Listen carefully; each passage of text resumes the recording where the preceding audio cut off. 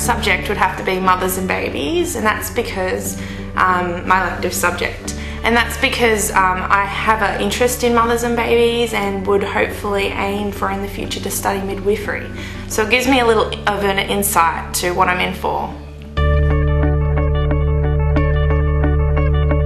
My biggest challenge would have to be assignments. I always get them done on time, however, I struggle with not leaving them to the last minute.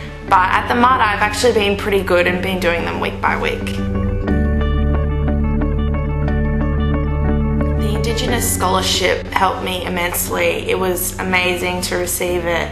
Um, being a student, it can be quite challenging financially, and as the scholarship paid for the whole 18 month course, totaling to about $15,000, it was a great help. I was really lucky to receive it. It also made me feel a little bit special.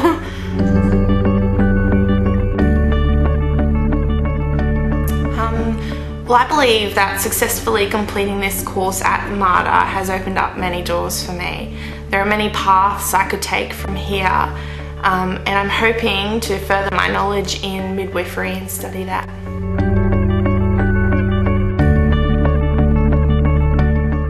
Go for it. I know that it's really daunting at the beginning. I was I was very quite scared when I applied, but it's very much so worth it. Um, it goes by really quickly, so enjoy it, make lots of friends, get to know your teachers, and you'll be happy when you do it.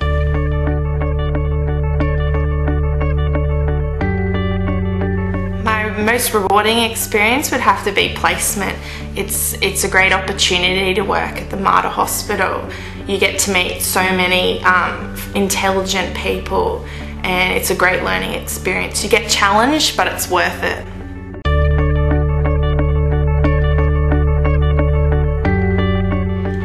Have to be my teachers, my lectures.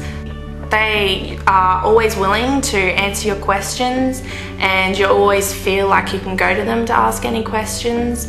They're, they're great with giving you back advice and just someone to talk to. They're really intelligent and friendly.